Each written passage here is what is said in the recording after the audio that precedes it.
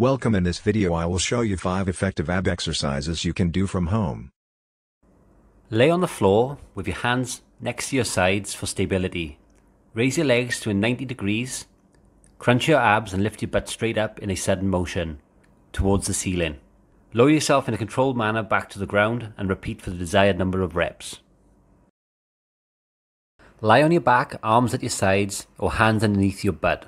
With your legs straight, raise them up in line with your waist.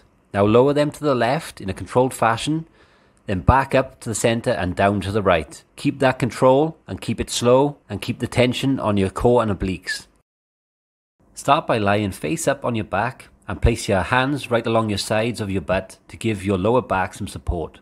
Engage your abs and lift both legs about 6 inches off the floor. Then, much like a scissors, cross your legs in a controlled fashion, back and forth. Make sure to keep your core tight and your lower back on the floor as you move your legs. Lie on your back on the floor. Press your lower back into the floor and bend your knees while keeping feet flat on the floor. Place hands behind head, interlacing fingers if preferenced. Keep elbows wide and gently cradle your head in your hands. Bring your knees up with shins parallel to the floor as you lift shoulder blades off the floor. As you straighten the left leg out to about 45 degree angle, turn your upper body to the right, bringing left elbow toward the knee.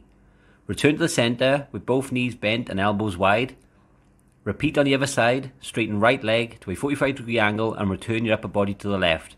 Bring right elbow toward the knee. Return to the start position to complete one rep.